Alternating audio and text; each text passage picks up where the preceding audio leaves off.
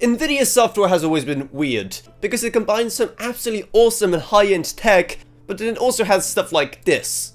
But thankfully, they're taking some of that huge AI revenue to do something about it with a brand new NVIDIA app, which has been available in beta for a while, but today it has finally released, and it's supposed to make your experience of using your NVIDIA products so much better. It essentially replaces what GeForce Experience was before, basically just an app for updating your drivers and also using NVIDIA Shadowplay. But now this brand new app, which yes, it is just called the NVIDIA app, does a lot more. It still does those things, so you can just update your drivers right from there, and also set up your NVIDIA overlay, which also includes stuff like instant replays, recording, and much more, which is a pretty useful feature. However, it's also supposed to replace some elements of the NVIDIA control panel, which are now accessible right here, including the pretty impressive RTX video, which can upscale the content you're watching, and even HDRify non-HDR content. Now, unfortunately, not everything from NVIDIA control panel has been ported yet. So it still kind of awkwardly includes a link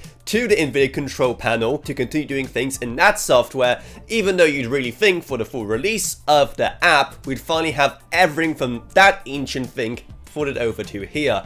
But whatever. Unfortunately, other apps still haven't integrated here either. Stuff like NVIDIA Broadcast, GeForce Now, and Omniverse, they're all still their own separate things you're gonna have to install, which granted you can easily install them and manage them from the Nvidia app, but it's still annoying. I just wish there were one single piece of software, you know, and you could just add additional modules on top of it instead of being separate executables, but whatever.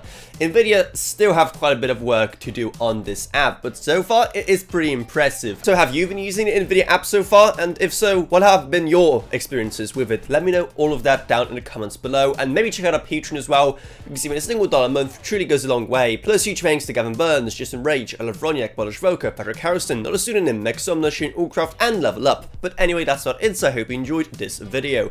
If you did, remember to subscribe, like whatever, and I see you all in whatever I make next. Goodbye everyone, goodbye.